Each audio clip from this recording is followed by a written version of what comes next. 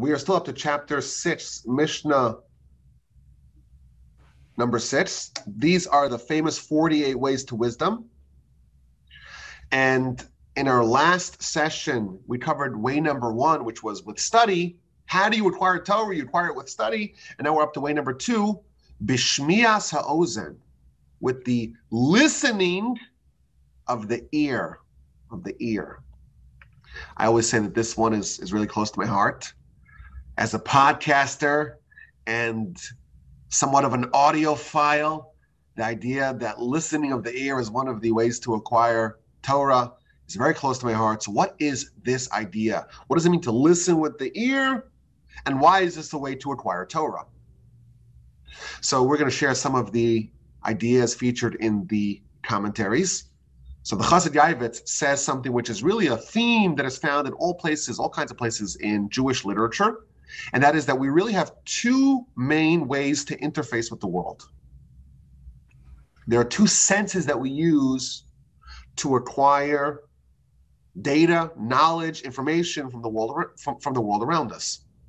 And they are with our eyes, we see things, and with our ears, and we hear things.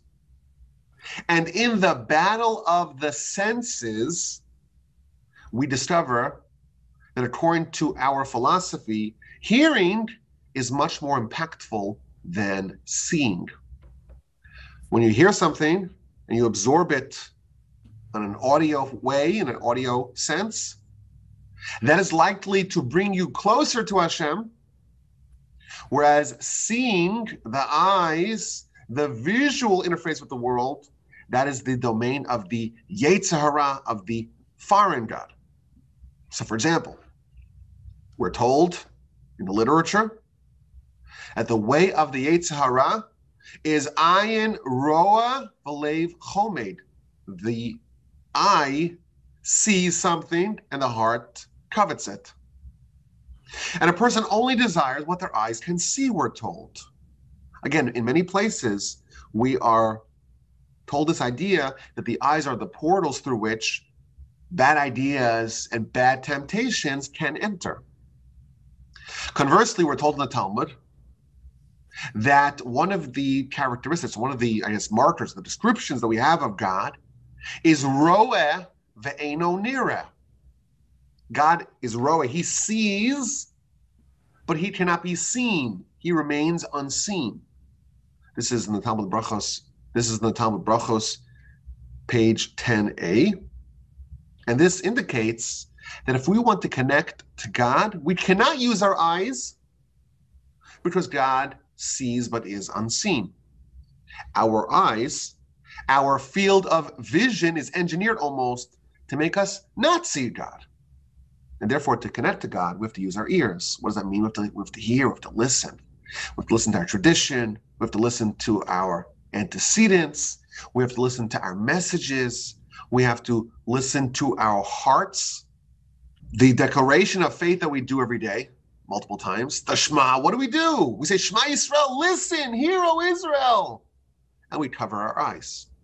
And that's symbolizing that this touch point of faith that we do every day, that the best way to accomplish it is to listen, to listen very carefully, to listen to all those murmurings, to listen for those faint whispers, but also to cover our eyes. I had a thought over Shabbos. You know, for some reason, the Almighty designed us that we have we have little lids, little eyelids. That sometimes our eyes are open and we see everything, and then we close them and we see nothing. But the ears don't have any lids. Isn't that interesting? It's not a question most of us think about all the time. The ears, they're permanently opened. You have to really push down or maybe flap over your your earlobes to cover it, and even then you kind of hear you hear a little bit. You're able to pick up stuff, but you have these lids on your eyes to just to just cover it. Why would the Almighty do that? I know it's a strange thought to think about. You know those little flaps that cover our eyes, and at night they're they're closed, and then and then they're during the day they're open, but periodically they have this like like uh, washing fluid to keep everything lubricated really nicely. and they flap down and then they flap back up and you don't even miss anything in the field of vision? Why don't our ears have the similar thing? So I, I want to speculate that maybe, you know, if if the if what we see could be very dangerous, it could be the domain of the Yetzer Hara. Everything we see is is not God. God is unseen. Maybe if we didn't have those lids, if we had too much sight, so to speak, it would give the Yetzer Hara an unfair edge. And that's why the Almighty says, okay, I'm going to give you a chance, so to speak, to close your eyes and to be able to listen much more carefully. And through that, you can connect to the Almighty, connect to the spiritual, and almost cordon off, so to speak, the physical world that you see that fills your your your eyes and your brain with all these images, all these images which are not, of course, God. Audio, we know, also echoes. This past Shabbos, in one of the shuls in our neighborhood, they asked me to serve as the chazan, to lead the services, which I do very frequently. But in this particular room, there's bad acoustics. So, like, you're hearing the echoes of everyone behind you, it's a little bit disorienting. You have to kind of get used to it. You know, with sight, there is no echo. What you see, it's almost like there's there's there's no lag. It happens basically instantaneously. You know, light travels around the world, you know, in one second, you know, eight times. It's just lightning fast. And with light, because it's all instantaneous, there's there's no time to process. You cannot prepare for it ahead of time. And you cannot assess it afterwards because it's gone. It's like a flash. That's it. Whereas audio, it's much slower. You have time to prepare for it. And even after you hear it once, you hear it again, it reverberates, it echoes, it lingers, it allows you to really process it. The Yetzer Hara wants us to be working very fast, to not think about things, to not ruminate, to not cogitate, to not evaluate, to not question, just accept the vision. For us to really connect with, listen, and audio, again, is much more engineered to facilitate the kind of spiritual transformation that is required, of course, to connect with the Almighty and His Torah. My favorite example of this are the two relatives who were not Jews who experienced Egypt or the exodus from Egypt and how they processed it. Jethro, he wasn't a Jew. But Parshas Yisro, this is chapter 18 of Exodus, it begins that Jethro heard everything that happened to the Jewish people, and he said, I want to join this nation. When he interfaced with the Exodus by listening, he heard he wanted to join. He is related, the Talmud tells us, to Balak, the king of Moab. And this, of course, is in the book of Numbers, Parshas Balak.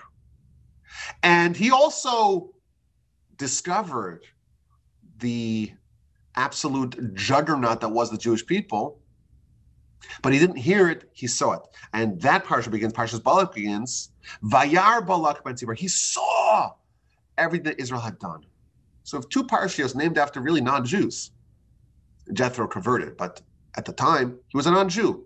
One parsha is called Parshas Yisro, and one's called Parshas Balak. And both of them start off with these respective individuals, the eponymous characters of said story, encountering the primacy and the strength and the might of the Jewish nation and their exodus.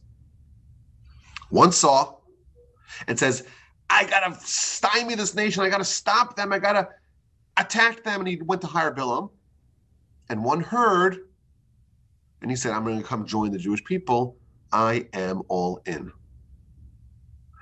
If you are interested, I did a Parsha podcast in January of 2022 on Parshas Mishpatim called Hearing Sinai.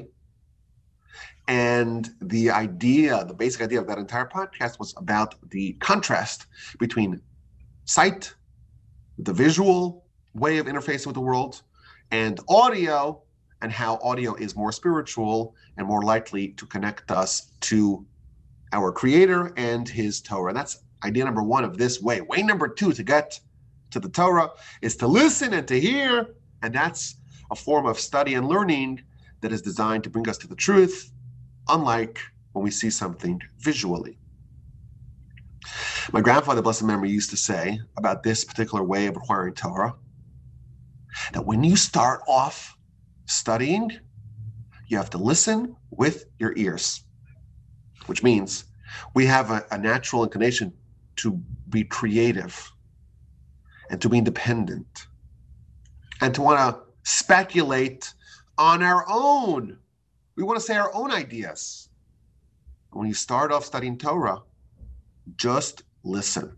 Don't try to be a producer, a purveyor of Torah until you are ready. You absorb it, digest it, let it percolate within you. After 50 years of listening, you'll be so replete, you'll be swelling, bursting with Torah, then you will, in fact, be able to influence others. I say just say that you know we're required to study Torah and to teach Torah. Lil mode ulalami to, to, to, study and to learn and to, and to teach it onwards. How is that done? It's like a cup. You want to fill a cup. Once the cup is full and you pour more, it overflows. You listen, you listen, you listen. When you start, you just listen, you just absorb, and eventually that will lead to the overflowing of the cup. You're able to influence others as well. It is also interesting. Maybe this is part of the uh, eyelid question. If you count the organs, you know, we're fortunate enough to have two eyes and uh, and two ears, but only one mouth. And I know this is really weirdly hypothetical, but why do we only have one mouth? You got two ears, two eyes, you should have two mouths. I don't know where you would put it, but, but why is it like that? The idea is that we have to listen twice as much, double as much as we speak. The Talmud records an interesting comment from one of the sages that he actually wanted to have two mouths. I have so much Torah to teach. I'm about to speak even more words of Torah. One mouth for written Torah, one mouth for oral Torah. I don't know, one mouth for this subject, one mouth for that subject. Wouldn't that be convenient? But then he said, well, we have such a hard enough time to use our mouth, to use our capacity for speech, and not say anything bad, not say any evil talk with only one mouth, we would be doomed if we had two. But indeed, we do, in fact, have two ears and that perhaps is to symbolize the importance of just listening. Now we know that you listen and you hear with your ears. We don't really need the Mishnah to tell us that. It doesn't say bishmiya with listening. You read the words of the Mishnah written with laser-like precision. It doesn't say with listening, with hearing. It says with the listening and the hearing of the ears. It identifies the organ that we used that, that we use to listen. Why is that necessary? Just say with listening. Why say with the listening of the ear? So I remember hearing an idea about this many years ago in the name of Rabbi Shapiro, Rabbi Moshe Shmuel Shapiro. He said sometimes people listen, but they don't really understand. And it's only their ears that listen in one ear and out the other. You've heard of that line? It goes in one ear and out the other. It doesn't really stop in the brain. It doesn't settle down in the brain. Is that beneficial? Is that helpful? So he says it is, because this Mishnah is telling us even if the the listening is, is is limited to the ear, it's only the hearing of the ear, but it doesn't actually stop and settle in the brain even that is impactful. Even if only the ear hears, it penetrates, it makes an impact. I have a theory that if you really want to change someone, try to get them to listen to something, even if they don't understand or they're not willing to understand it. Just listening to it will change them. My dream is to have people listen to my podcasts as they're falling asleep. So my parents every night listen to my podcasts as they're falling asleep. And I, and I think that it's actually the best way to listen to it because as you're going to a lower level of consciousness,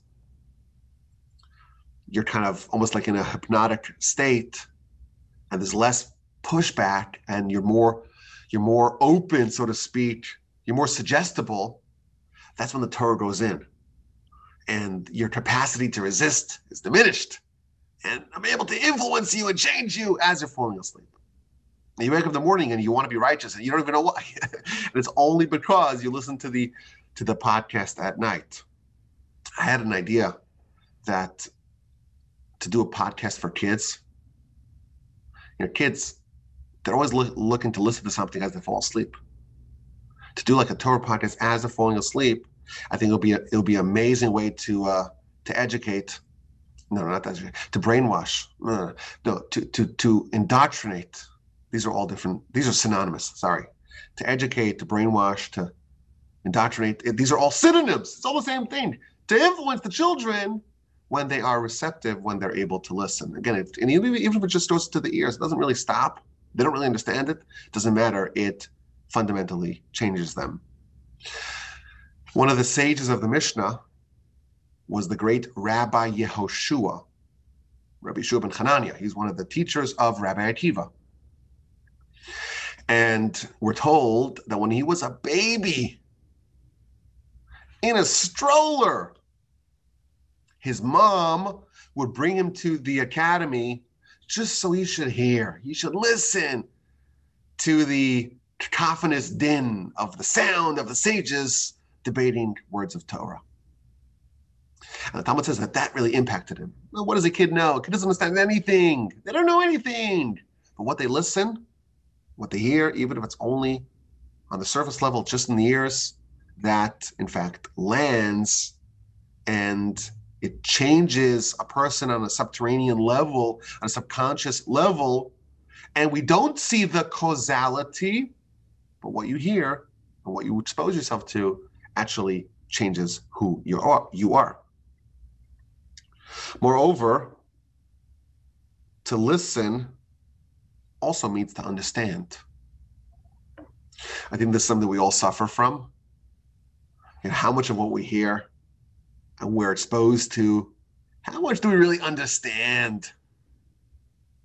And of what we un- and of what we understand, how much do we retain? You know, this applies to reading as well. You read something, you're kind of skimming it. I kind of get the gist of what I'm reading.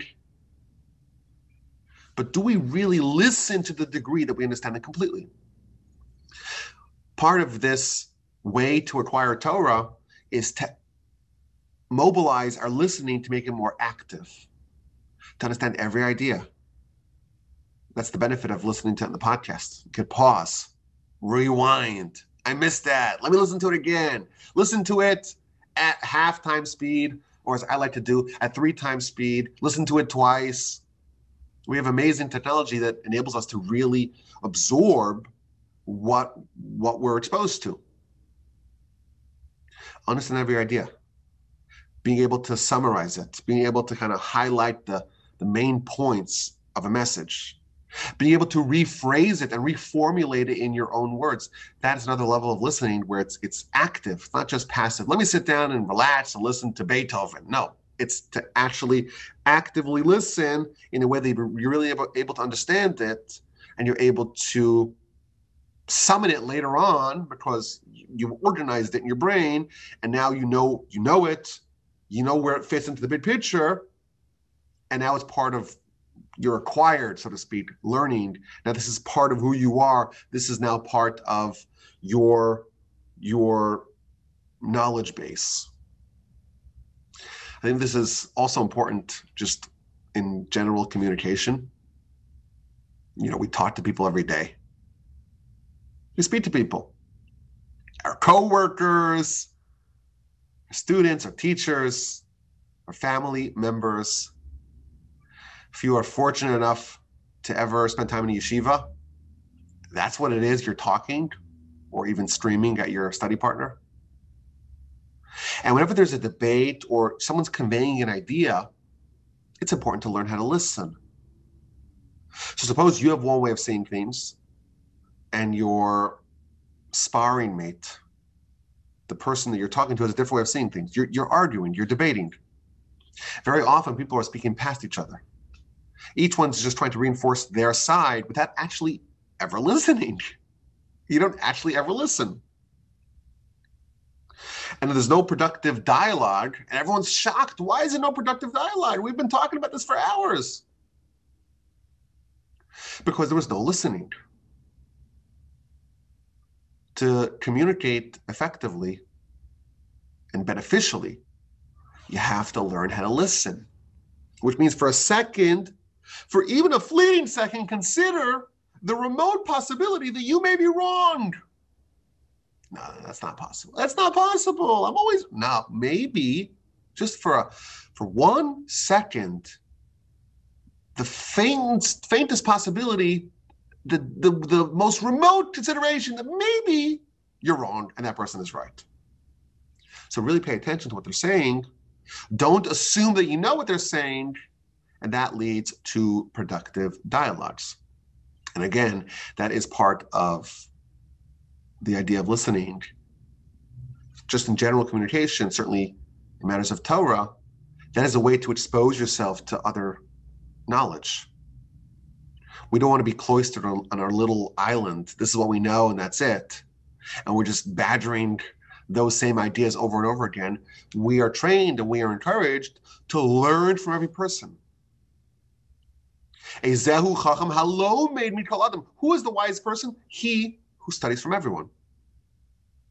The only way that you can study from everyone is if you learn the great, powerful tool of listening and actually trying to understand what they're saying, not just trying to, you know, say non sequiturs and ad hominem attacks and all the fallacies that we do because we're just partisans that just want to say our, our point and never really consider what someone else has to say.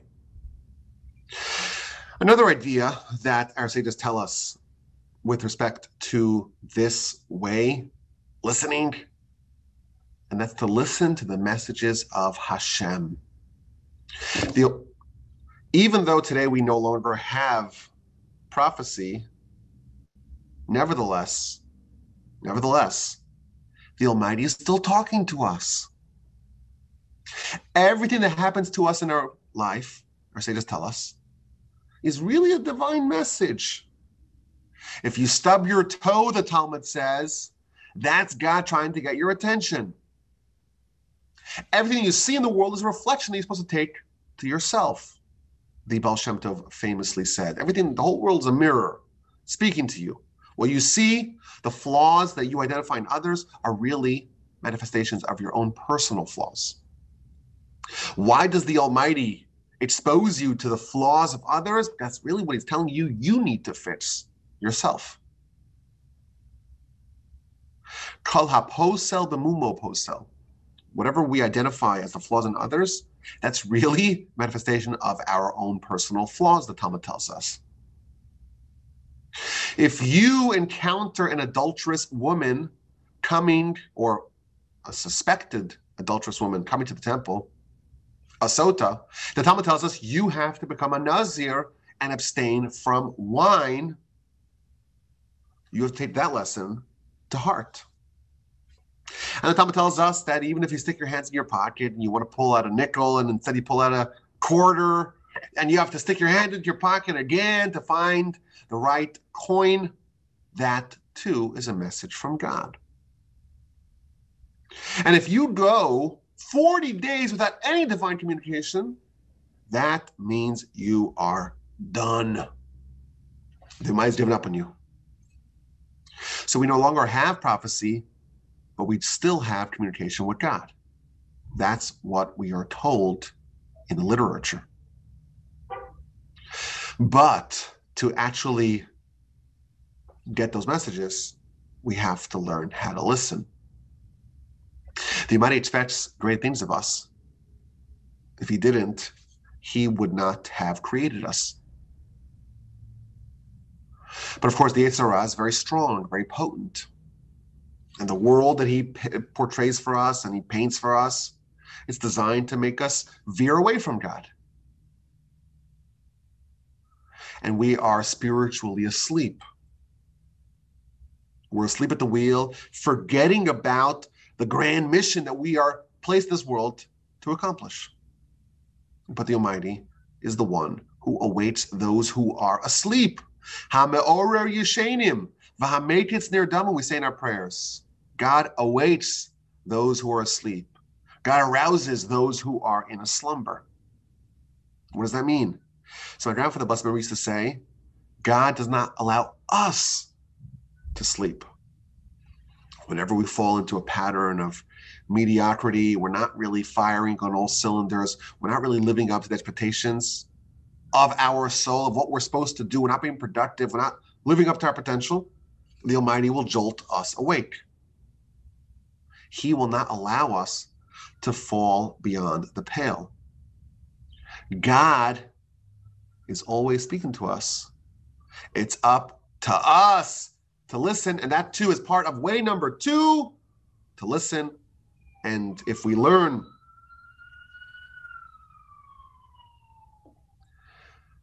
And if we learn the great skill and tool of learning how to listen with all its various facets, we are well on our way to prepare ourselves for Torah and for wisdom. I thank you for listening. Listening. I hope you have a great day. And as always, my email address is rabbiwolbe at gmail.com. Okay, okay, okay. Who's ready? Who's next? Not all at once. I'm ready. You ready? Okay, go. Hit me. Let's go. All right. So, um, uh, just I need to clarify this. Uh, are you saying that that when I when I when I'm listening to this to to well, if I may say this, listening to his voice, but the thing is, I I, I need to clarify this because uh, I thought that um, maybe the angels are the emissaries of God, and maybe Yeah, it's the that- that's angels true. that are speaking. So we have to listen. We have to listen to those. We have to listen to those messages messages as well. Yes. So course. it's a, are you? Because I, I don't want to I don't want to There's a lot of emissary. God has a lot of emissaries. The I angels don't are want to one. kind of I don't want to pretend to myself that I'm actually hearing from his own No, voice. if you, if you hear voices, that's something else. That's something no, else. no, no, no, no, no, no, no, no. My, my mind is. I've, like, I'm years- not years uh, qualified to remedy. So not No, no, actually, no. We don't actually hear prophecy, but it, it means that in our life, in our world, in our interactions, the things that are out of the ordinary are, are sometimes messages from God. We have to learn how to listen to those. Yeah, no, I've, I've, I've, I've learned to keep my mind completely still. And because I used to be very analytical, and now my mind is very, very, very still.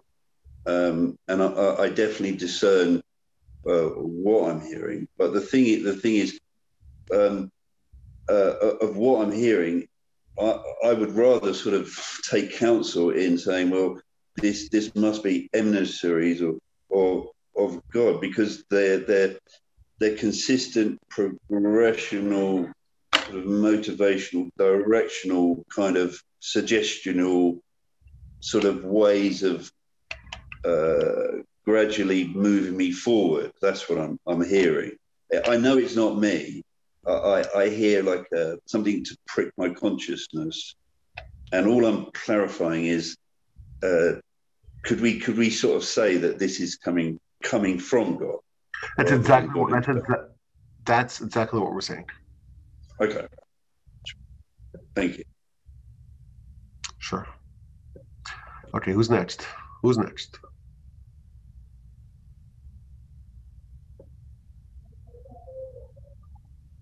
Not all at once. Not all at once. Uh, Rabbi, I have a question. Yeah, go ahead, Paul. Um, do you know of speaking of listening and um, uh, hearing a nice compliment to the Parsha podcast? I think would be to actually be able to not just read the Parsha, but actually just hear it read to you like a audio book or something like that. Do you know of any sources like that where you actually can either download a, a whole portion or can you get a week? I cannot believe you're asking that. I'll tell you why. So uh, my son Yehoshua, my second son, he's almost bar mitzvah. So he wants to. Akiva didn't want to read from the Torah, and I, I was not going to pressure him to do it. That's just my philosophy. We could debate that a different time. He didn't want to do it. That's fine. I don't want to pressure him. My second son, Yoshua, does want to read from the Torah. So how do we train the kid to read from the Torah? So there's different ways of doing it. I said I'll just read the whole Torah, the whole portion for you. I'll record it, and uh, you listen to it, and you could just you're smart enough to figure it out. Figure it out.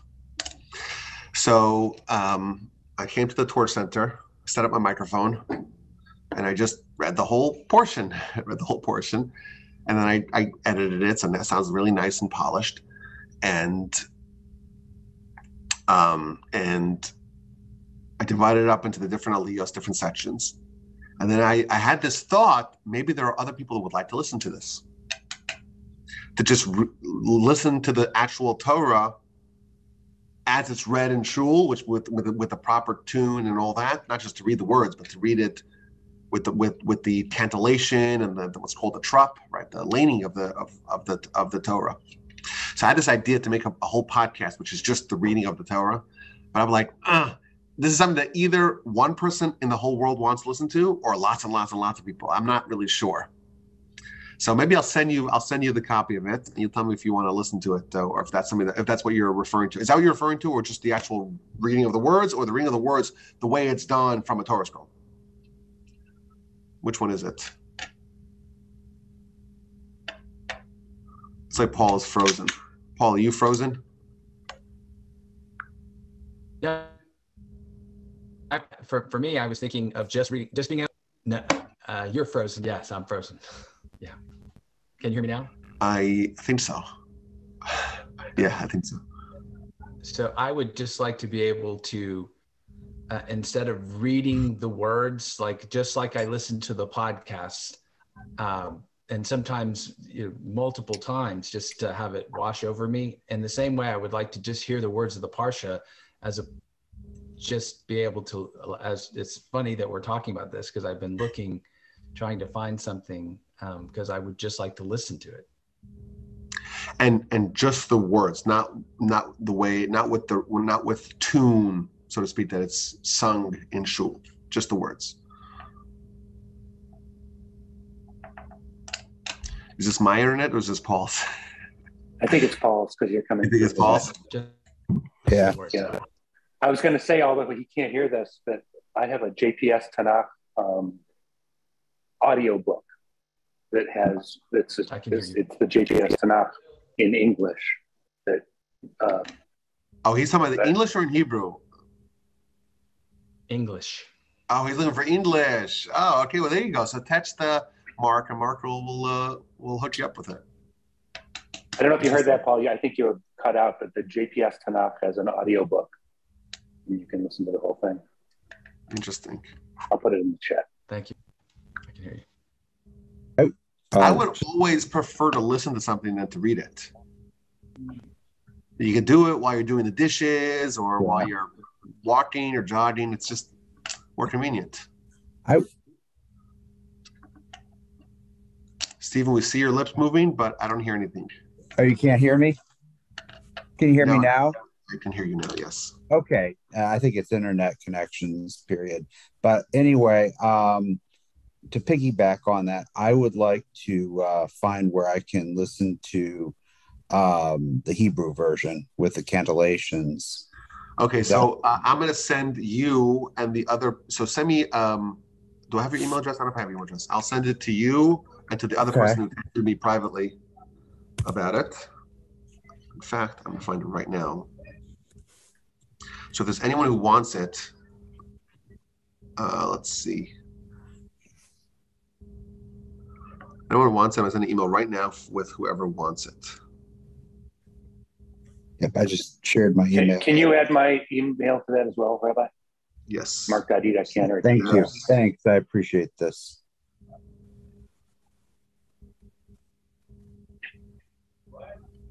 Where is it?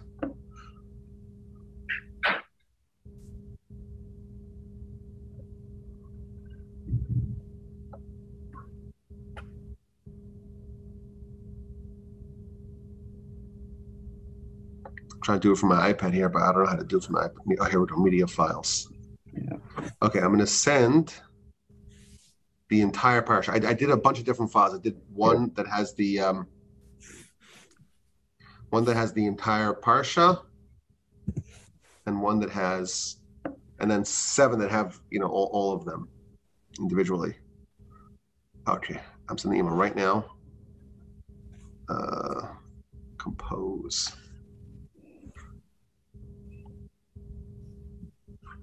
Appreciated today's Mishnah because I always listen to the Parsha on Audible, and it always feels like a lower form of learning somehow. But uh, Mhm. I guess you've just disabused me of that notion. I love it. Great word, disabused. I love it. Stephen W. Block. I know this is riveting for you guys to watch me type this email. Riveting. Again, thank you. I really appreciate this. Sure thing. And uh, Mark. Anybody else wants this? Mark E. Tanter. Who else? Anybody else wants it? Me too, Rav, please. Do I have your email address? Uh, Yeah, I do. Uh, 1510. Yes, that's Who it. else? Who else? Anybody? Nobody else. Okay. Uh, reading of the Torah in in Hebrew. Oh, anybody else? Anybody else before I send it? Last chance. no, never last chance. You can always email, send it to you again. Okay, so I'm going to email you a link. You just click the link and it'll, it'll play it. Thank you. Boom, sent. Okay. Ca- Can you do it every every parsha? Mm, I, I maybe Okay. I'm considering doing it right now. I just did one, which is Parsha Shoftim, which is in a couple of weeks, a couple of months really.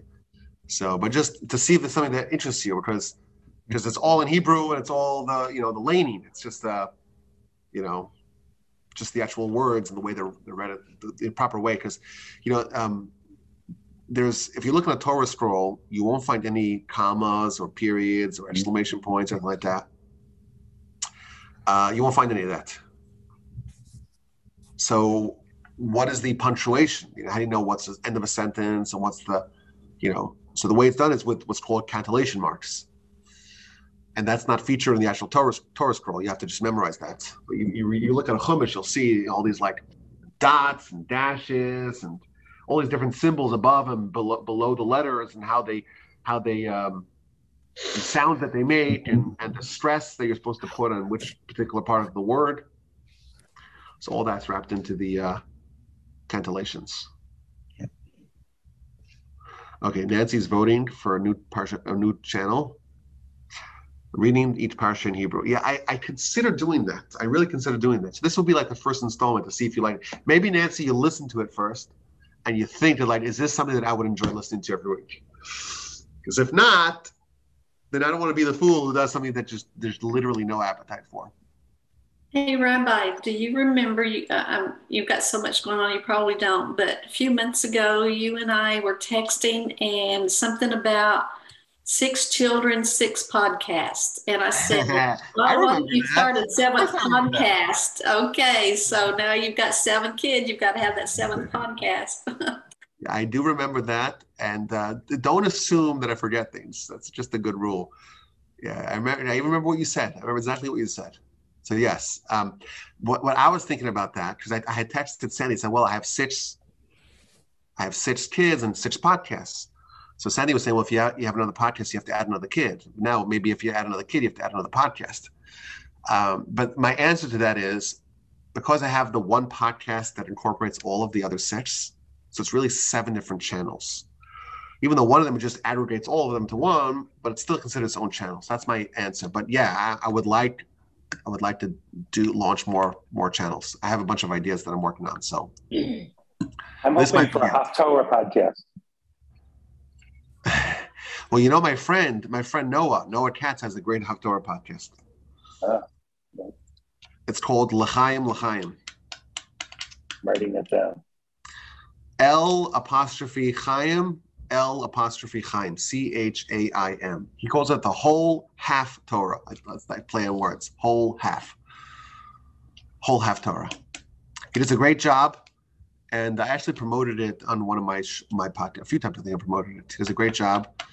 He's um, a young man. Uh, I think he's a lawyer. Noah from Cincinnati.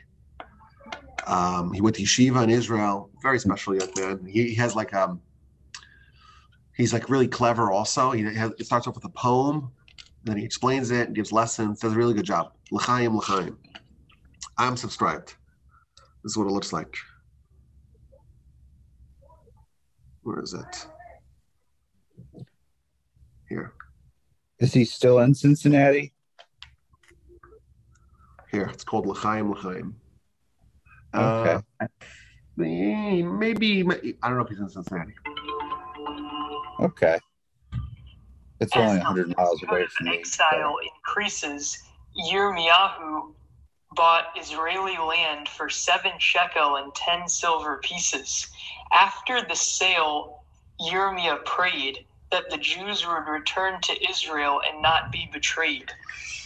So he always has a poem, like a little little rhyme to start off every podcast, which is just super clever, I think. Anyhow, Got it. Just found it. he does a really good job, researches it well. Yes. So I recommend it for the Haftarah.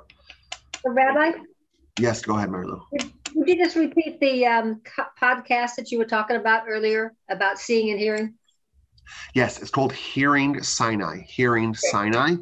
Okay, thanks. Uh, and it was, I'll tell you when it was released, if you want to know precisely. Uh, three months ago, January 26th, 2022. Thank you.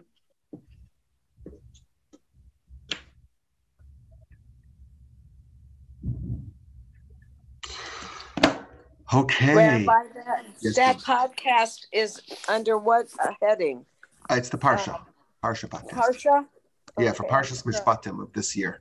So in the middle of Exodus. Now And- we're we're up to Parshas Bechukosai, which is the last installment of Uh, Vayikra, Leviticus. This was like the middle of of Exodus, Mishpatim. So uh, Rabbi, also, if if anybody goes um, wants to come to Beth Yeshurun for services, I every Shabbos in the chapel, of course, they read the whole Torah portion, um, and that gives me a, a lot of satisfaction to hear it live and see how they do. You know, I I enjoy. I it. was thinking like like during the pandemic, I was thinking of doing this, like because no one was going to shul. Like, Right. people want to hear the Torah. Um, and even if you don't understand it, you know, because it, it has like a sing song feel to it. It does. Very motivated. I don't know. It gives me a lot of satisfaction. I, and then of course, if you listen to your Parsha podcast, and I also do a Parsha podcast with Faith Grossman and uh, Deborah Cohen. So I feel like it's, even though I, I don't understand the Hebrew words, I, I believe, you know, you can read the English along with it. You feel like you have a connection with it. Yes, yes. Thank you. Yeah.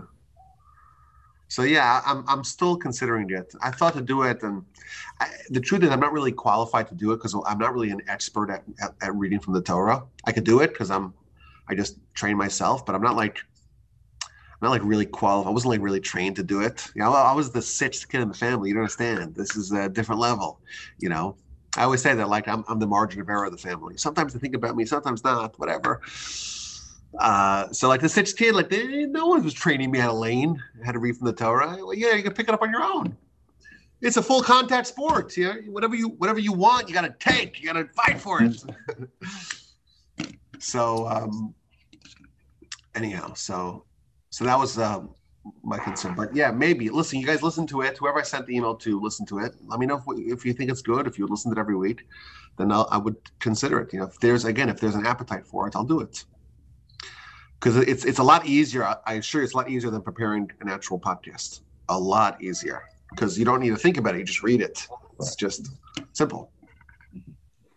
And thankfully, I could do it. Like I could read Hebrew, and I could, you know. So if there is an interest, I would I would do it. So let me know. Okay, ladies and gentlemen, y'all have a great week. This was so much fun. So, so, so much fun. And uh, please, God, next week, same time. Yes? Yes? Okay, I'm looking forward to Yes. that. You take care. Have a great week. And uh, see you next week. Yep. Okay, thank you all. Thank you. Bye-bye. Thanks, Rabbi. Thank you, Ralph. Thank you. Thank you.